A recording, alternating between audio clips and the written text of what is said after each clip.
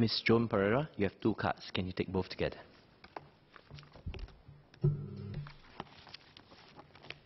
Sir, in this age of the internet, Singaporeans are increasingly well connected.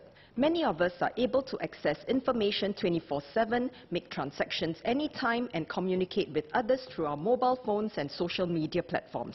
While Singapore's strong digital connectivity offers enormous social and business opportunities, it is also a point of vulnerability that individual hackers, criminal syndicates, and state adversaries exploit to do us harm. As Singapore moves towards becoming a smart city, we need to be better prepared against threats from the digital domain. What measures do MINDEF have in place to rapidly detect and contain digital threats against Singapore? Recent incidents of data breaches had highlighted the human factor as a major vulnerability. In fact, users of the internet have long been viewed as the weak link. No matter how robust our internet structure, software and hardware, complacency Poor personal hygiene and low awareness of digital threats will endanger our SAF systems.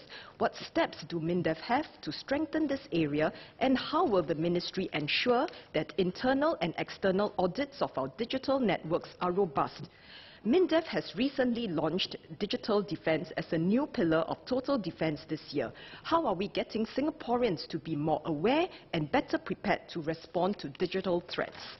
Second cut.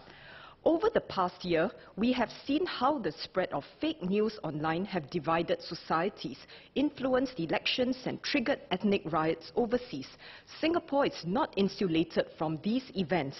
In fact, as a multicultural and diverse society, Singapore's social fabric could easily be threatened by the spread of falsehoods that exploit potential fault lines in our society, such as race or religion. One of the biggest challenges we face in combating fake news is on social media and messaging applications such as Facebook and WhatsApp.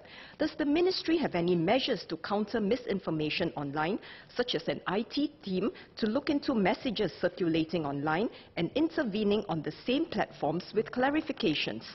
More importantly, we have to shore up our social defenses, strengthening them on all fronts to counter these online threats. From our neighborhoods, workplaces, markets, and other common spaces, we will see and experience the real nature of our interactions and unity, making us less easy as targets.